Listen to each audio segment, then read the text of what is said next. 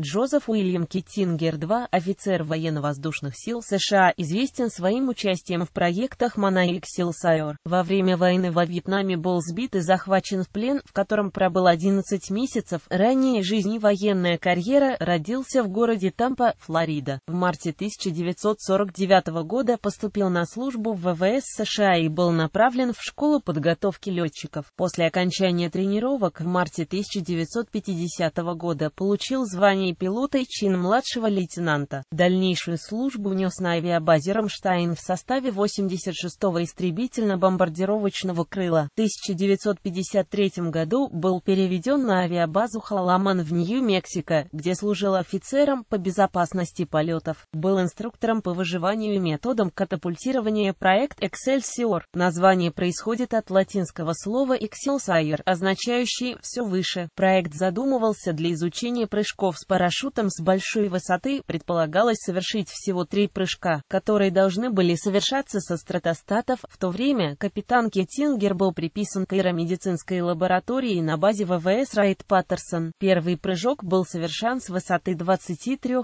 300 метров 16 ноября 1959 года. Из-за неполадок стабилизирующий парашют не раскрылся и Кеттингер попал в штопор. Его тело вращалось со скоростью 120 оборотов в минуту минуту. Перегрузки составляли 22 грамма и Джозеф потерял сознание. Парашют открылся с помощью прибора автоматического раскрытия парашюта. 11 декабря он прыгнул снова уже с высоты 22 760 метров, за что был награжден парашютной медалью Лео Стивенса. 16 августа 1960 года состоялся последний прыжок в рамках проекта Excelsior с высоты 31 300 метров. Раскрыв тормозной парашют для стабилизации Джозеф Киттингер падал 4 минуты и 36 секунд, достигнув скорости 988 км в час до открытия основного парашюта на высоте 5500 метров. Герметичность правой перчатки была нарушена, этот прыжок получил несколько рекордов. Самый высокий прыжок со стратостата, самый высокий прыжок с парашютом, наиболее долгое падение с тормозным парашютом и наибольшая скорость, достигнутая при падении. Все эти рекорды зарегистрированы в ВВС США. ФА